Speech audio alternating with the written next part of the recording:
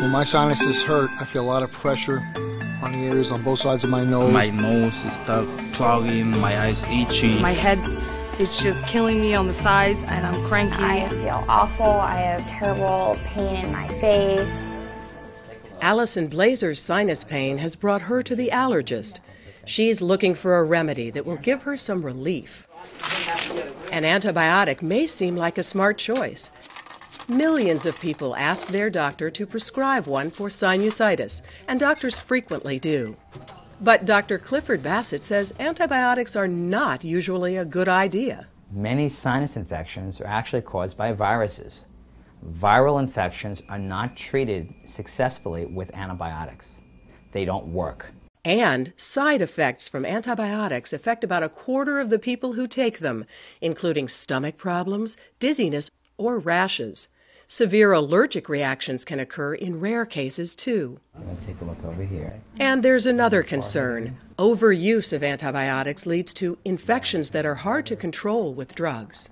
If you need a drug for an infection and it's, the bacteria is resistant to that antibiotic or drug, that's a problem. Your nose looks very good today.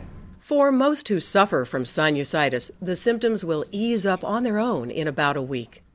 But Consumer Reports says there are several ways to speed up the process. It's especially important to rest when your body is fighting a virus. So use common sense. Slow down, drink plenty of fluids, and try elevating your head when you lie down. A saltwater gargle makes some people feel better. And steam can be soothing too. Try running a hot bath or shower. And when used properly, a solution that irrigates the sinus passages might help too. Be sure to use distilled water. And be cautious about over the counter drugs. Pseudoephedrine pills can ease stuffiness, but check with your doctor first because they can have serious side effects. Nasal drops or sprays that contain oxymetazoline can make the congestion worse if they're used for more than three days.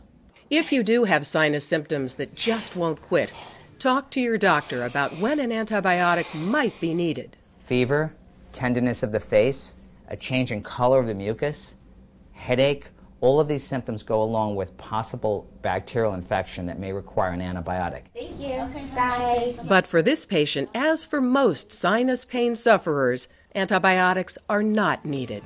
Learn more at consumerhealthchoices.org.